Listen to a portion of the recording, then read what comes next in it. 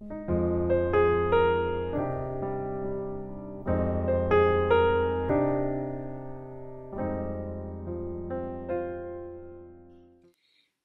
is Gestalt therapy? Well, just like there are many schools of medicine, there are also different modalities of psychotherapy. In this video, I would like to introduce you Gestalt therapy with a demonstration of what Gestalt therapy today can look like. Using case studies are the best way to illustrate psychotherapy methods. So in this video, I'm doing just that, providing you with a case study presented by Dr. Bob Resnick. Bearing in mind the copyrights of the owners, the extracts used in this vlog are kept to its minimum.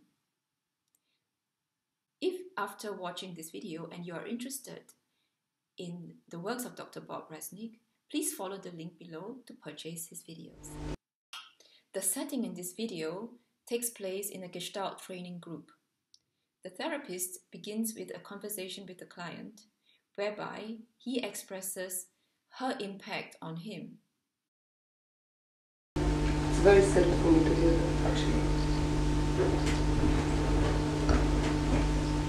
I'm not pleased that you're sad. I am very pleased that you were affected by it. The therapist feeds back to the client that whenever he approaches her, he feels that she's being, he's being pushed away by her. Now, her response was not a positive one, but nevertheless, it is a means for the therapist to make contact with her. Contact, as you can see, does not necessarily lead to a positive reaction.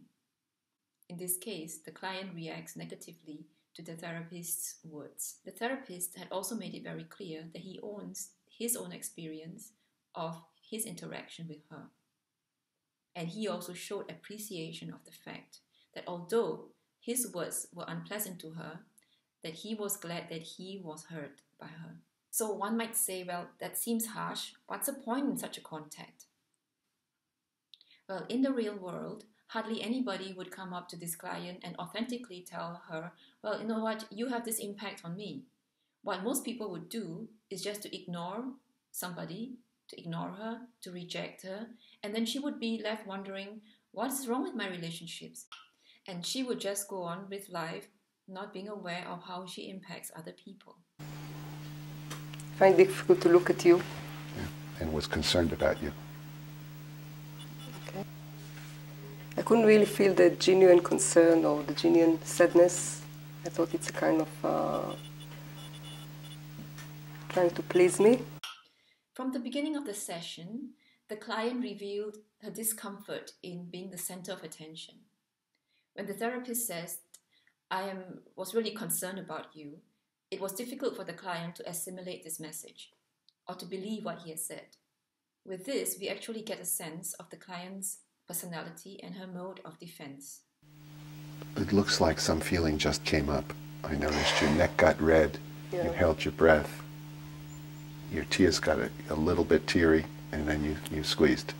This is an example of being in a here and now. The therapist noticed a change in the client's face and body language. He describes to her what he observes. Notice that he does not analyze the emotions underlying what he has observed. The term which Gestalt therapists use to describe what the therapist had observed is called the phenomenology.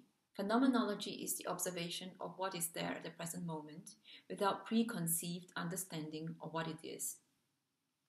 So, in this case, the phenomenology of the client is that of her change in facial expression. The therapist does not put a meaning behind what she expressed. Rather, he describes to her what he observes, allowing her the space to reveal to him what the facial expression was about.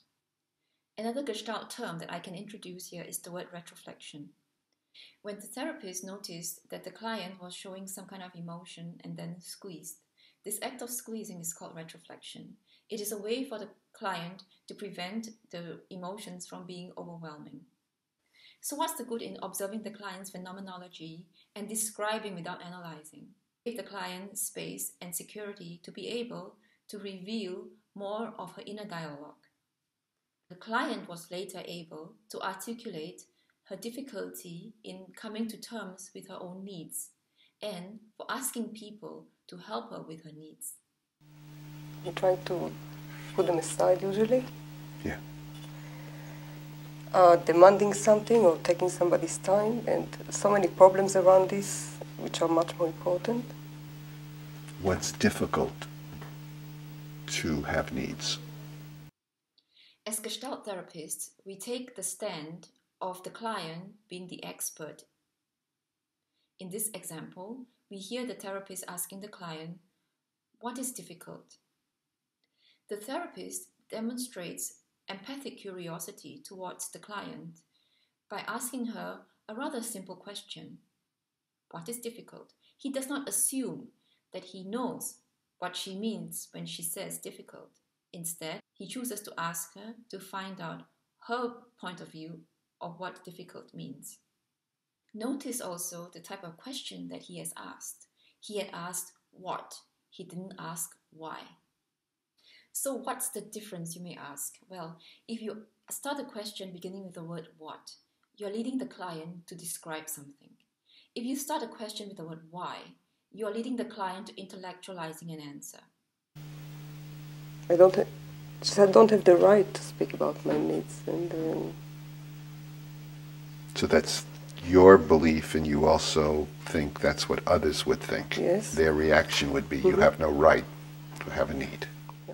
By carefully asking the client to clarify what she has said, the therapist was able to help the client articulate and make more tangible her inner dialogue.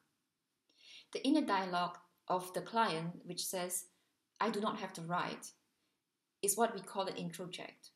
An introject is an idea or a belief that we learned in childhood that is no longer useful to us as adults.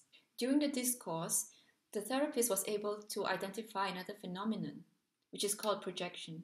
In Gestalt terms, projection is attributing to other people meanings and emotions that you cannot deal with yourself.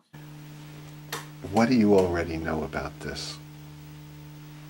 The this I'm talking about is your unentitlement to have needs, your belief that you don't think you're entitled and that you don't think the world would think you're entitled to have needs. What do you know about this?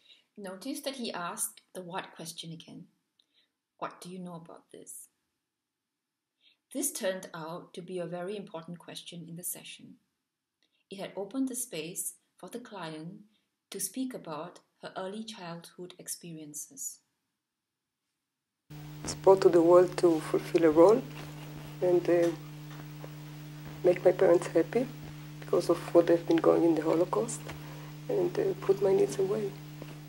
Although we are seeing here less than two minutes of a 30 minute video, we can already have a sense of how far the client has gone through the session. By supporting the client in this way, the therapist has built a secure space for the client to begin psychotherapeutic work.